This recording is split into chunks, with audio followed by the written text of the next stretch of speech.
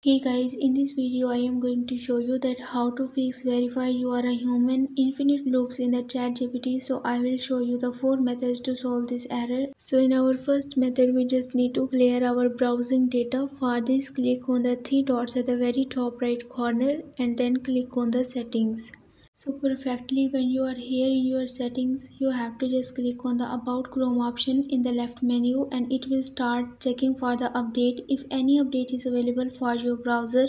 So it will automatically update your browser. Once you done you have to just click on the privacy and security in the left menu and then click on the clear browsing data. Here in the advanced tab select the time range for all time and then select for these all options here and then click on the clear data. Note one thing that doing so you will remove all your data from your browser. Once you're done you have to just again log into your chat GPT and hopefully your problem will be fixed. And our second method is that you have to just use a different browser like you can use the Microsoft Edge, Safari, Vivaldi, Opera, Firefox or the Brave browser. Just download the one that you want to use instead of your Chrome browser and after that you have to just log in to your chat GPT by using that browser.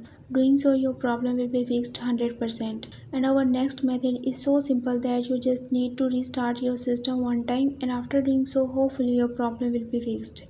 Sometimes your Chrome extensions are causing such type of the errors while using your chat GPT. So you must disable these extensions. So for this click on the three dots at the top right and then click on the more tools, click on the extensions and yes here you have to just disable all of the extensions that are enabled mode once you done you have to just re-log uh, into your chat gpt and your problem will be fixed. Once your problem is fixed then you have to just again enable your extensions and enjoy your chatting without any error. So yes that's all for this video. I hope this video will be helpful for you. For more information visit my website whose link i have shared in this video's description. So give this video a big thumbs up and also subscribe my channel. Don't forget to leave a comment below. Thanks for watching